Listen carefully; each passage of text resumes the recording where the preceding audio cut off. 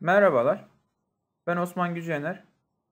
Bu videomuzda Smartron NC'de Transformation yani kopyalama seçeneğindeki takım yollarının klamp ve kon- konvansiyonel şeklinde almayı göreceğiz. Şimdi şurada görmüş olduğunuz gibi parçam var. Parçamın aynalanmış hali bu tarafta ve aynı şekilde şurada oluşturmuş olduğum takım yolunda burada görmüş olduğunuz plane'e göre aynalayacağım.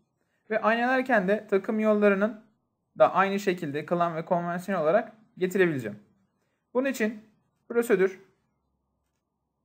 transformation burada görmüş olduğunuz gibi mirror copy diyorum. Buradan prosedürümü seçiyorum. Neye göre aynalayacağım? Plane'e göre aynalayacağım diyorum. Geliyorum. Plane'imi seçiyorum. OK diyorum. Bir sonraki seçenekte motion parametrelere gidip burada şurada mirror type burada görmüş olduğunuz gibi e, normal diğer eskiden olduğu gibi bir de burada kalan konvansiyonel seçeneği var. Bunu seçtikten sonra tekrar hesaplatacak olursak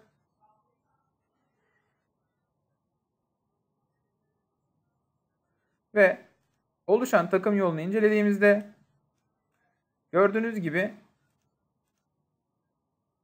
oluşan takım yolunun aynalanmış ve mirror halini görmekteyiz.